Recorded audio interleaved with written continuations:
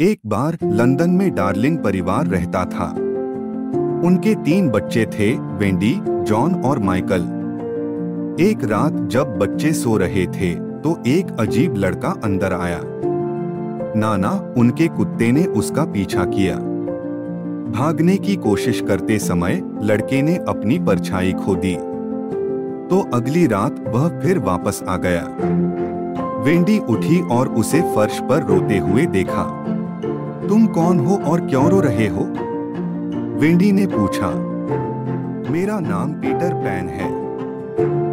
मैं दुखी हूँ क्योंकि मेरी परछाई भी मुझ पर नहीं टिकती, लड़के ने उत्तर दिया।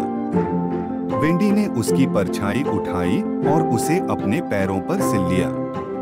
पीटर खुश हुआ। जल्द ही उसने बच्चों से दोस्ती कर ली।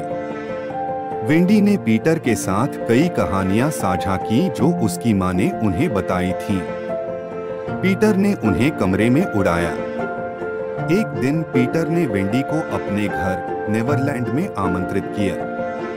पीटर ने कहा, मैं वहाँ अपनी परी टिंकर बेल के साथ रहता हूँ। वेंडी इस शर्त पर सहमत हुई कि उसके भाई भी साथ आएँगे। उसके परी मित्र टिंकर बेल ने कुछ जादुई पाउडर लिया और तीनों पर छिड़क दिया तब बच्चे उड़ने में सक्षम हुए। वे पीटर पैन के साथ नेवरलैंड की ओर उड़ गए।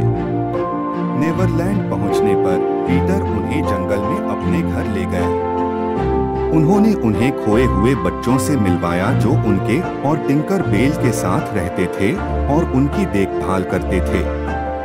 उन्होंने नेवरलैंड में बहुत अच्छा समय बिताया। एक शाम जब वे द्वीप की खोज कर रहे थे, पीटर पैन ने सभी को चेतावनी दी और कहा, छिप जाओ समुद्री लुटेरों ने भारतीय राजकुमारी टाइगर लिली का अपहरण कर लिया था।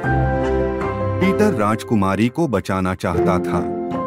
तो कैप्टन हुक जैसी आवाज़ में समुद्री डाकुओं पर चिल्लाया, उसे तुरंत जाने दो।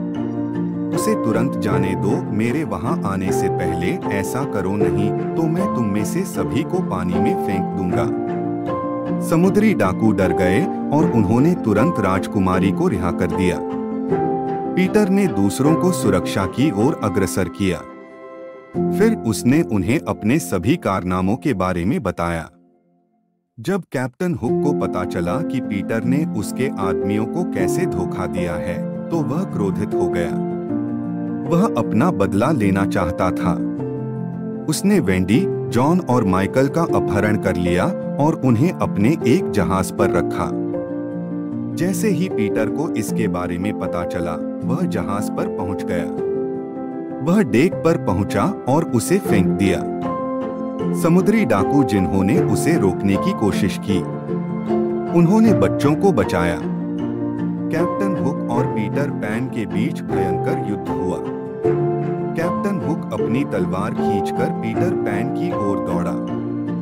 अपने पैरों पर तेज़ी से खड़े होकर पीटर पैन एक तरफ़ हट गए और हुक को धक्का दे दिया। कैप्टन हुक पानी में गिर गए जहाँ एक मगरमच्छ उन्हें खाने के लिए इंतज़ार कर रहा था। हर कोई खुश था क्योंकि कैप्टन हुक हमेशा के लिए उनके जीवन से बाहर हो गया था। वेंडी जॉन और माइकल के घर लौटने का समय हो गया था। पीटर और टिंकर बेल उन्हें वापस लंदन ले गए। खोए हुए बच्चे भी उनके साथ चले गए। मिस्टर और मिसेस डार्लिंग ने उनका गर्मजोशी से स्वागत किया।